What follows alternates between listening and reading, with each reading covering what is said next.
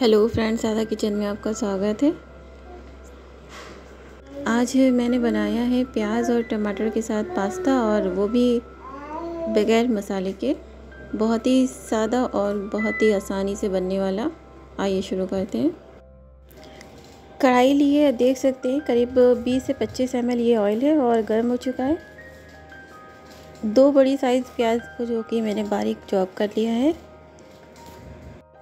दो मिनट तक इसे हम चलाएँगे ताकि प्याज का जो कचाहट है वो इसमें ख़त्म हो सके।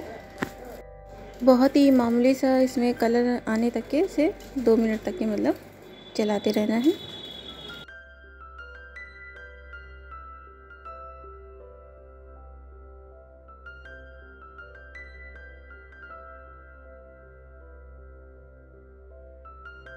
तो फ्रेंड्स देख सकते हैं, अच्छे से कलर आ गया है। बहुत ही बहुत ही मतलब हल्का आया है।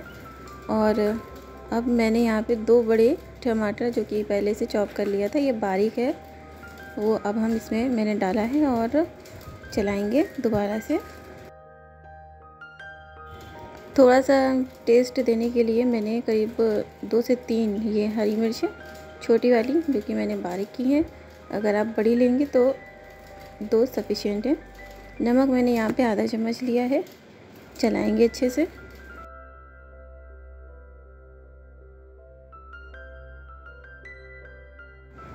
तो फ्रेंड्स, देख सकते हैं, ये मैंने पास्ता बॉईल किया है और ये 80 ग्राम है, जो कि मैंने ये दो सर्विंग के लिए मतलब बनाने जा रहे हैं। बॉल मतलब पास्ता मैंने बॉईल कर लिया है और हाफ़ बॉयल है, मैंने इसे निकाल लिया है। अब इसे ऐड करेंगे।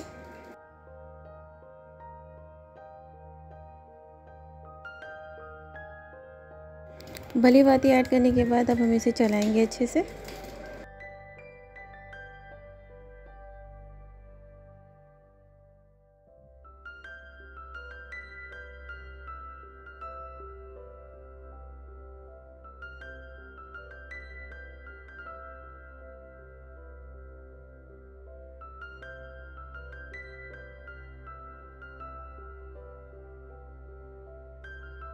पूरे प्रोसेस में मैंने गैस की फ्लेम को मीडियम रखी है और अब हम लिड कवर करके लो फ्लेम पे इसे पकाएँगे 10 मिनट तक के।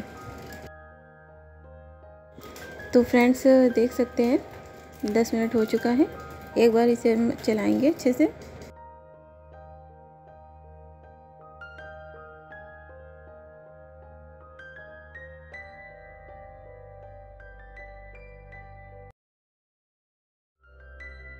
फाइनली पास्ता बनके तैयार हो चुका है और बहुत ही अच्छा टेस्टी जो कि बना है और बहुत ही आसान सी रेसिपी है और बहुत ही कम तेल में जो कि बनाया गया है।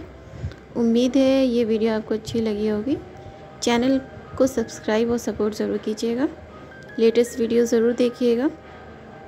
फीडबैक ज़रूर दीजिएगा। देखने के लिए धन्यवाद।